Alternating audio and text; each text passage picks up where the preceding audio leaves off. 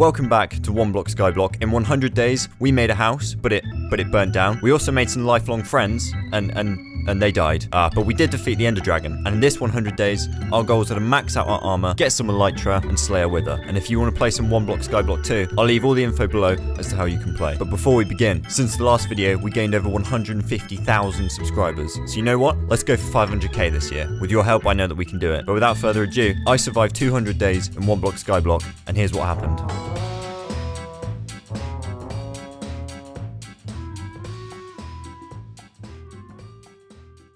On day 101, I began by saying hi to Chonka, Buster, the villagers, and even Tuba, even though he's not feeling himself right now. Not his alive self, anyway.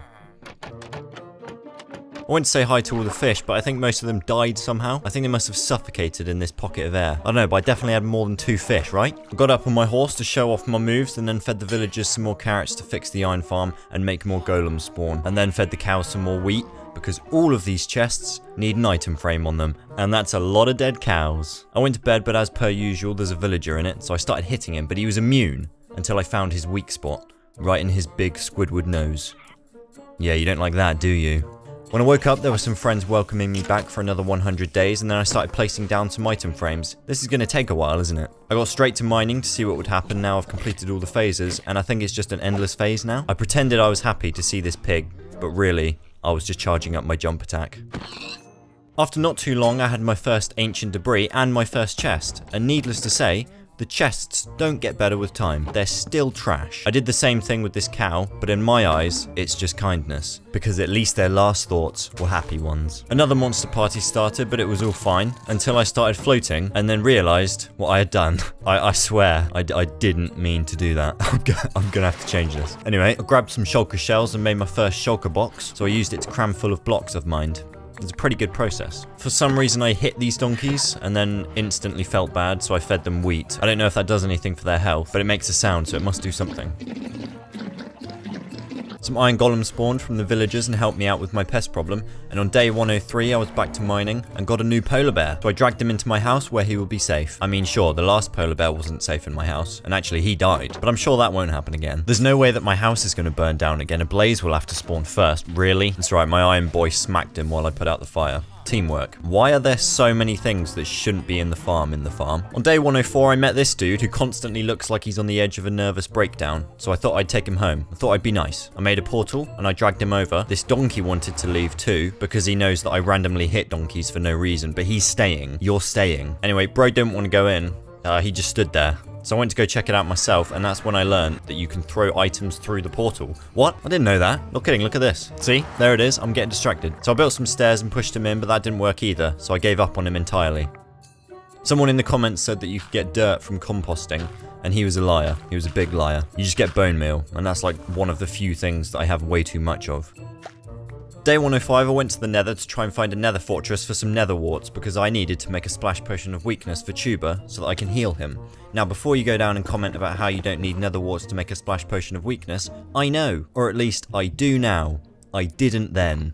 This is very embarrassing for me because I was looking for a very long time, like a really, really long time. I came across some natives and they were saying something about this is our land, go away, we just want to be left in peace or something.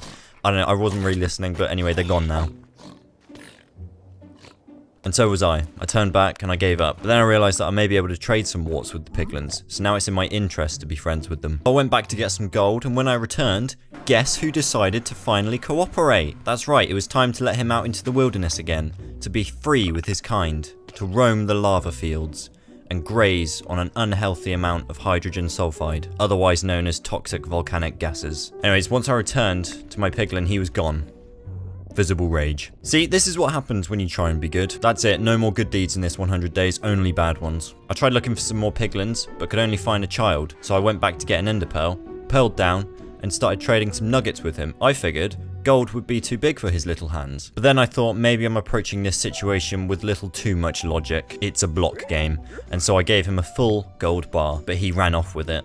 I think I just got hustled. Eventually I did find some more piglins, and even a thing that gave me an achievement. It also had some loot inside, but I considered that cheating. Damn my moral code. Day 108, I got back to the piglins to see what they had offered me, and it was a whole bunch of stuff. but no nether warts, so I threw it all away. Damn my moral code. Day 109, I was killing more cows and throwing away more nether items that I wanted to keep, and also placing more item frames. However, I realised I accidentally left my shulker box back there, so I had to make a very long journey to get it back.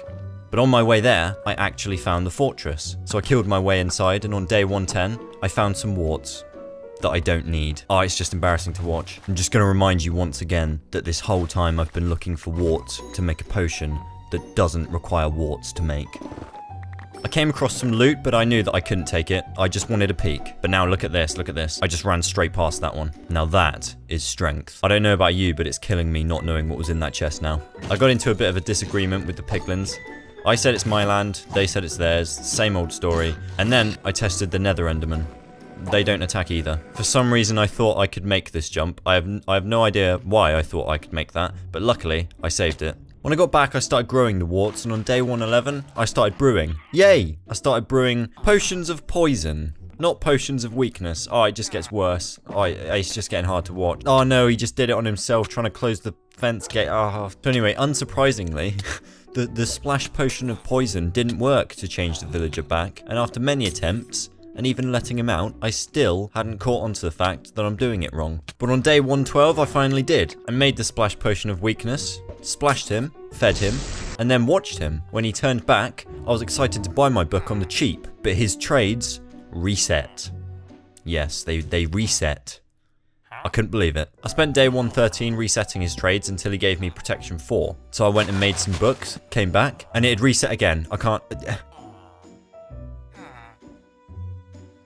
But on day 114, I finally got the mending trade and quickly bought something from him so that he'd be fixed to his trade and got 8 mending books for 8 emeralds. That's right, 1 emerald each. To his face, I was like, yeah, yeah, no, that, that sounds about right. But really, I was thinking, is this legal?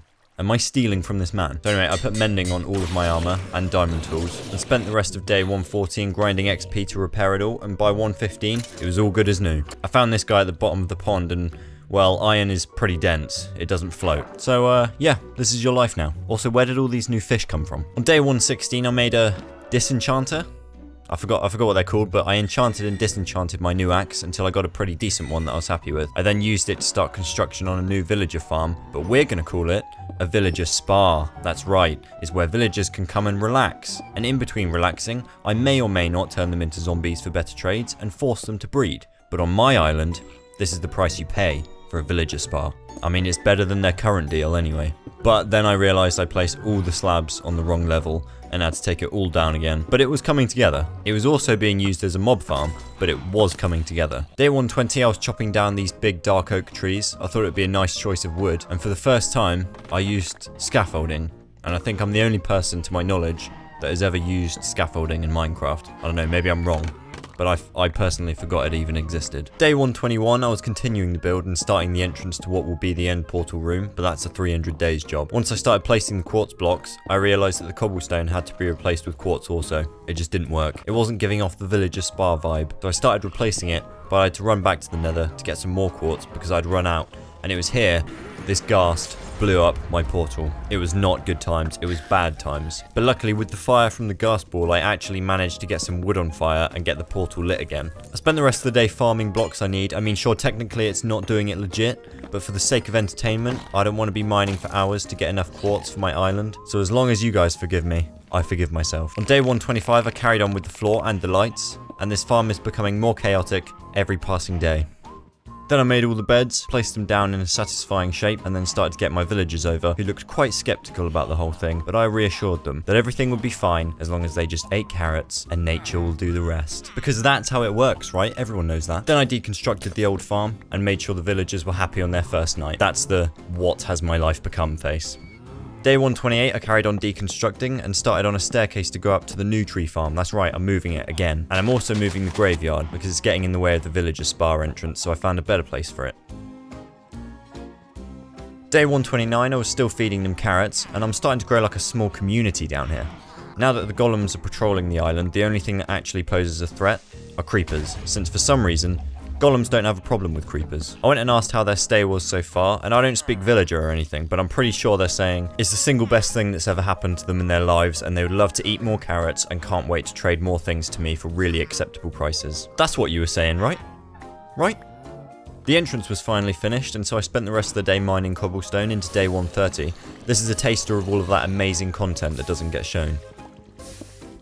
I then replaced the stairs with some stone brick instead to switch it up a bit, and then took my enchantment area down, along with the nether portal and the farm.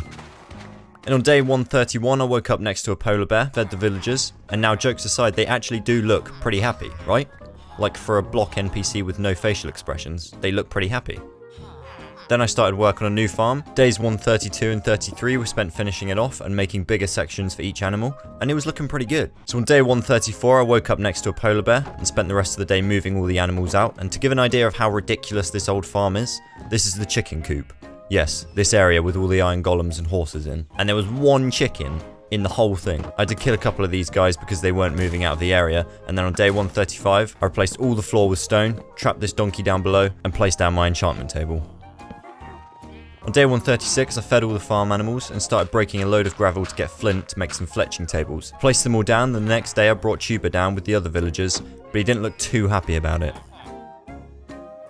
Now that I had 5 million Fletchers, I started work on the new tree farm that took much longer than expected to collect all of the cobblestone and then smelt it, but on day 140, it was done. I haven't built the walls yet, but I'm a man on a mission. I don't have time for building right now. I spent the rest of the day farming wood to make sticks to trade with the villagers. And the whole of day 141, I was just doing the same thing, just trading sticks, just, just straight up trading sticks. These guys love sticks. I'm not sure exactly what they do with them in prison though. I, I mean in, in, in Spa. It's not, it's not prison. Day 142, I decided to make more space. I covered the pond with glass, but don't worry, I checked if turtles can survive underwater in Minecraft, and they actually can. It was looking good. The next day I finished it, and then noticed my horse was under there. This is also his life now, because glass is way too expensive in Skyblock to be breaking and wasting, and he's just not worth it. He's just not. I did find the other chicken in the pond though.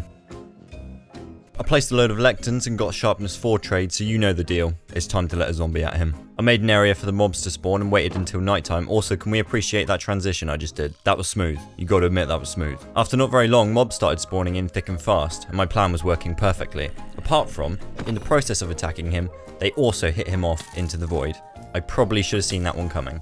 Day 144 I spent trying to get some good trades and didn't get any. The next day I got another sharpness 4 trade, so I took him upstairs to be attacked by a zombie this time, but I guess I was too far away from his lectern, because when I got back, he was just a normal boy. I'm actually hopeless with this game. Day 146, I thought, you know what, stuff it. I'm just going to work on getting some cheap armor so that I can enchant a load of it and make a maxed out set. So I spent the whole day leveling up some villagers. Day 147, I was farming more emeralds. And day 148, I had my first bit of diamond armor from this guy. But I just couldn't understand why they were all just trading leggings, no matter how much I maxed them out. Ugh, can you tell this is my first time trading? It, it's even hard for me to watch back. If you don't understand what I'm doing wrong yet, just hold tight. Just hold tight, all will be revealed soon. Day 149 to 151, I had a break from trading with villagers and spent some time decorating my island with some bushes that I thought looked pretty cool. I try and keep building to a minimum for entertainment, but if you guys want a 300 days, I'm gonna go all out on building. The rest of the day I spent kidnapping this villager for a zombie. This guy escaped, so I pushed him into the end. Because that's just what you get for escaping. Listen, I don't make the rules. Oh wait, yes I do and that's a new rule. I trapped this guy in, and on day 152, a single zombie had spawned, which was perfect. I led him in to have some alone time with the villager, and went back to speak with the others. This guy was saying how his son heard screaming, and I was like, nah, what? What? Screaming? No. No, you guys are crazy. You guys are crazy. Relax. This is a spa. Just relax. When I returned, it was done. I healed him up, and then he was cured. I'm trying to do a happy jump right now, but I'm just hitting my head. He's like, bruh, what have I woken up to? Anyway, I leveled him up and then realized that you can scroll down and he has more armor. Yeah, that's right. You know all those villagers that I maxed out? Like six villagers that I maxed out that only gave me diamond leggings? Yeah, well they didn't. I'm just an idiot who didn't think of scrolling down. You live and you learn, I guess. Anyway, now I had this dude giving me trades for super cheap, like one or two emeralds per item. So I bought a full set and on day 153 I disenchanted all of it and kept enchanting until I got some good ones. And since it was so easy to get XP from my farm, I thought this was the best way to get my armor maxed out and by the end of the day I had protection 4, unbreaking 3 and mending on everything. Day 154 I did the same thing to this weaponsmith so that I can get some good weapon trades. I healed him up and then tried to go to bed but then realised that he's actually just below my bedroom. Hey dude. So I went down to give him some moral support and on day 155 I maxed him out, and firstly upgraded my axe to efficiency 5 by enchanting a new one and combining it with the one I already had. Day 156 I spent mining cobblestone because you can never have enough cobblestone, and on day 157 I was appreciating the sunrise. Also, if you want to use the shader I use, I'll leave a link in the description. I couldn't stand seeing this sheep shivering anymore, so I thought I'd give him some grass. He thought I was letting him free, but that was only temporary. When I got back from making some leads to drag him back up, all of the iron golems in the world suddenly had a fascination with this tiny enclosure. But once I pushed them out and dragged the sheep in, he started eating straight away.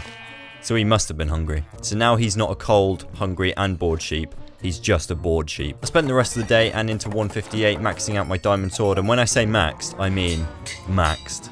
These cows stand no chance now. I mean, they didn't before, but now with my looting enchantment, I didn't have to kill so many to make the rest of my item frame. So it worked out pretty well for them too. Day 159, I smelted my ancient debris and made some netherite to put on my sword, and now I can actually say that it's maxed out, maxed out maxed out. Day 160 I was back to mining, trying to find some more ancient debris, but instead, all I found was a ghast, a llama, and a doggy. I'm not sure what the llama did to these iron golems to deserve this, but it paid for it. The next day I was farming XP and I was getting so many good bows from the mobs now that I have looting 3 on my sword that I started combining them to make a pretty good bow. Then I sorted out all of the mob loot that I collected, and there, there's there's so much. There's so much. This mob grinder is actually insane on Skyblock. Then I combined my new bow with my old one, and made an Unbreaking 3, Power 5, and Punch 2 bow. Now all it needed was Flame, which I have, but it's expensive. So I thought of ways to get XP, and disenchanted everything that I have, which was barely anything, and was completely not worth it. I also tried smelting the armor I got from the mobs, which actually worked, but it just smelted it into golden nuggets, so it's not even worth my time. But after more disenchanting, I could finally get flame on my bow. On day 163 I went to the end, and when I got there I found that villager that tried to escape, and also an endermite. I accidentally hit the villager off trying to hit him. My bad. For some reason with the shaders this place made me feel like a bit sick, like I could actually feel how thick the air was. It looked amazing, but like, amazingly disgusting. Anyway, I'm here for some elytra, so I towered up to the portal and went through but I couldn't really see anything, so I had to turn the shaders off to find the tower. I left some landmarks to find my way back and set out to get me some wings so I don't lose all of the armor that I've just made if I fall off my island. It took ages to find the tower, but eventually I did, and once I broke in, uninvited and unwelcomed, I also found some pretty good loot. Apart from this chest. Anyway, I found the ship, killed the thing, took the loot, and got my wings. That kinda rhymes. Not really, but kinda. Also, I found that this is where you get the dragon head from. I've always wondered where you get the dragon head from, so I took it and flew off. That's right, I came prepared with rockets. And after a very long time of flying around, completely lost, my elytra had already worn down to its last bit of health. Like if I looked at it wrong right now, it might break. So I had to spend the rest of the journey looking on foot, but eventually I found my landmark and made it back. As soon as I got back, I tried enchanting my elytra, but it didn't work, so I went to get a mending book from Tuba, slapped it on there, healed that boy up, and took to the skies. Place down my dragon head and then name my pick as usual. It's a very accurate name. On 167, I disenchanted all of that loot I got and enchanted two shovels. I had the best luck here because I got efficiency 4 enchantments right next to each other, and so I combined them to make an efficiency 5 shovel, and now all of my tools are maxed out.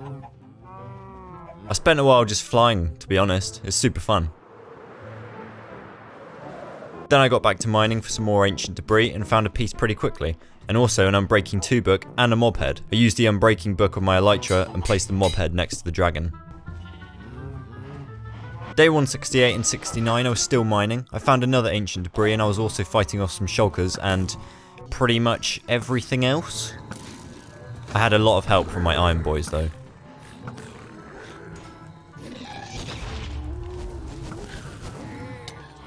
Day 170 I went back to the end because mining is a real hassle now. I have to keep running up to the chest to empty my inventory from all the random blocks and it's taken ages. So I thought I'd go back, collect some shulker boxes so I can transport all of the blocks to the sorting chests while I'm mining them. I warned them that I'm coming up because that's just fair game. Stole all of their stuff and, and kind of slaughtered them, I'm not going to lie here. I even took their banners. I told you, only bad deeds in this 100 days. I flew to the next one and did the same thing and on the third tower it had another boat, so I got another pair of elytra and some more epic loot.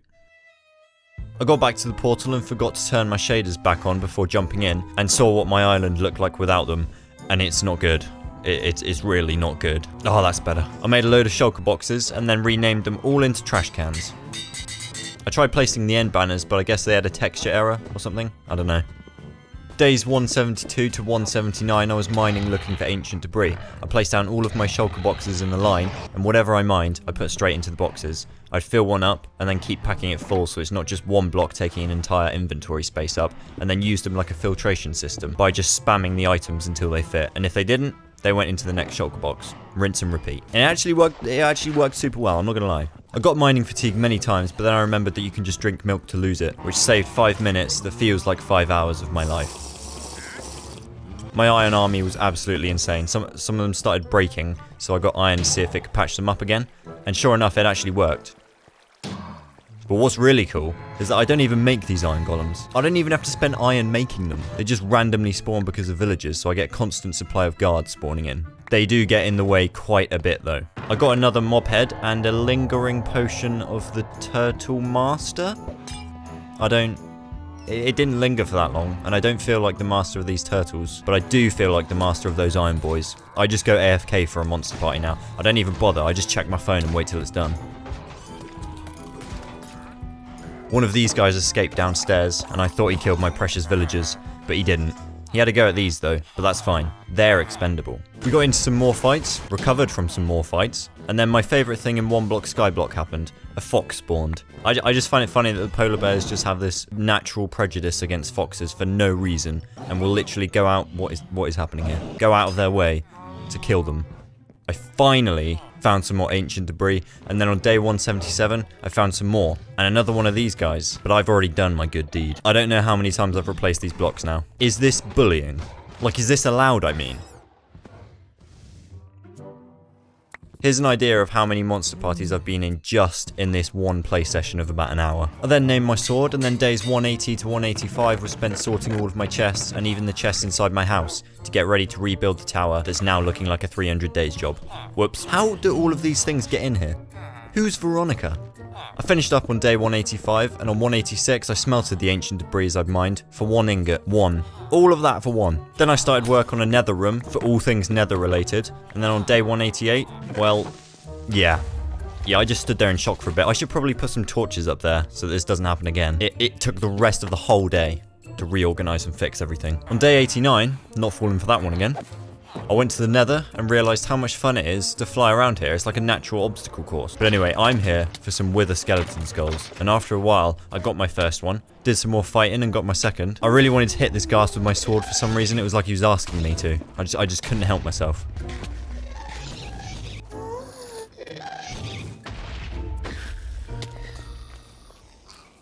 After a while, I realised that if you just fly away and come straight back, all the skeletons respawn.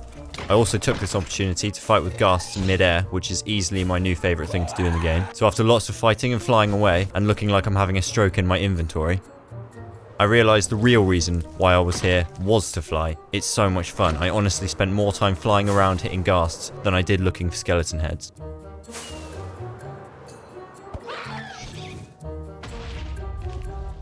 It's just so satisfying. Oh yeah, I also stole some blocks, but you didn't see anything, right? I might actually change my channel name to just Ghast Hunter and just make Ghast Hunting Coolest Moments compilations. Anyway, I finally got my last one and headed back. Also, I can actually fly down to the nether room from the chest room. Look at this. Uh, it was definitely, definitely my first attempt. So I spent the rest of the day finishing up the nether room, and on day 192, I remembered that all this time, the iron farm has been making me iron. I don't use it for anything, but maybe in 300 days, I make some epic battle with a load of iron golems. I made some armor stands and then started placing them around the island like they're guards or something, and it's a cool place to keep my armor. Then I made some custom Big K banners, and they look pretty sweet, I'm not gonna lie. I was pretty happy with them, so I made some more, and even put one on my shield. I got a big K shield, but I thought, hang on a second. If I use my two netherite ingots on a helmet and a chest plate, then use my shield, it will look like I've got full netherite armor for the thumbnail, when actually, I've only got half netherite. You've all been scammed by the big K himself. Day 195, I went on a little adventure to see if I could break the game mode by going really far away in the nether and then making a portal. I thought maybe if I went far enough away, it would actually generate some new land that's actually the overworld, but it didn't. Sad times. On day 196, I started making the platform to fight the Wither on, and the next day I said goodbye to my men, in case I don't see them again. And Buster, and Chonka, and also this llama, I guess. I spawned him in, ready for war, and he instantly just, just started sinking. Yeah. I, I don't know, he just... I, I kept shooting him. I even flew down to hit him. but he was just too close to the void, and I had to come back up. I started firing arrows, and I thought I was doing damage, but then realised it was just the void killing him. Bruh. So I quickly rushed back to the nether to get some more skulls. After lots and lots of skeletons, I got all three fairly quickly with my looting three. And now can we all just take a minute to appreciate how satisfying this clip is? I mean, come on.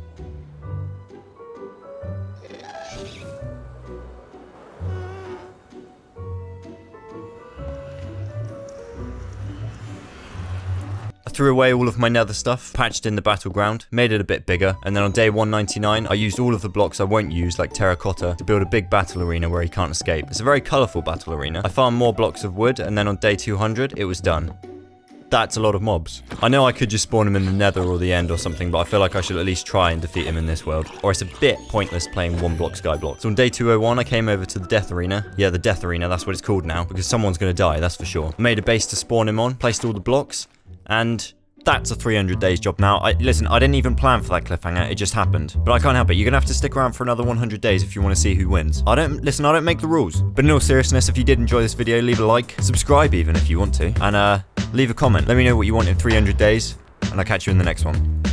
Peace out.